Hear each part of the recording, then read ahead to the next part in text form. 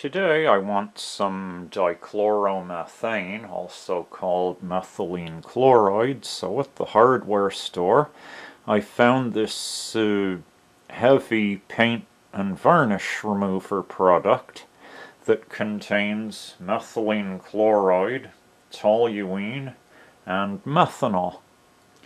I'm going to attempt a simple distillation for recovering the methylene chloride as its boiling point is around 39.6 Celsius. I should hopefully be able to separate it from the methanol and the toluene.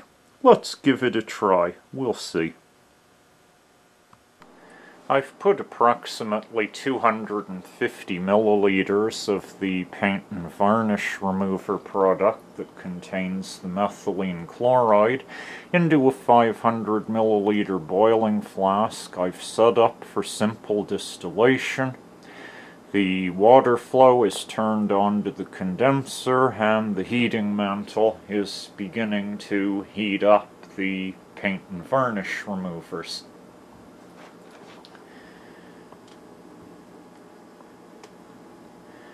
Temperature can be seen to be uh, building up to the 39.6 Celsius area, so product should start to distill over uh, shortly. Yes, I've got 36.9, 37, 37.1, so something should begin to distill over into my 500 milliliter collection beaker soon.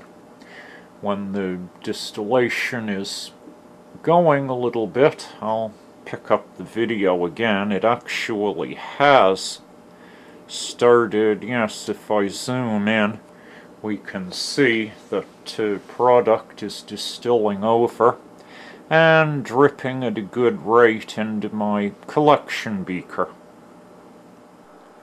I'm getting a good flow of product out of my condenser and I have on the thermometer I'm holding a steady temperature of 37.9 as measured in my three-way still head right at the takeoff point.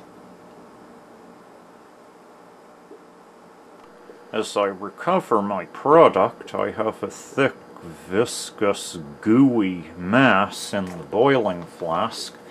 I hope this doesn't set up or anything and that I'm able to clean the flask fairly easily later. We'll see. I'm about five minutes into this simple distillation and I already have about uh, 50 milliliters or so of product recovered, so this is working well.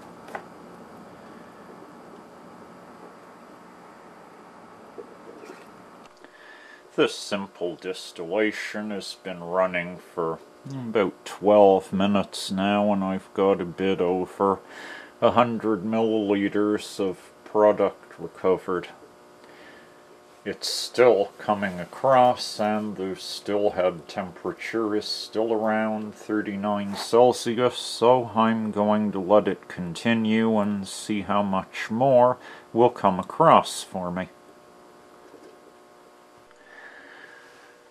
I am about 20 minutes into this process now. I have a good 125 milliliters of product in my recovery beaker. I've turned off the heat as the volume is greatly reduced in the boiling flask. And I'm letting things cool down and come to a stop at this point.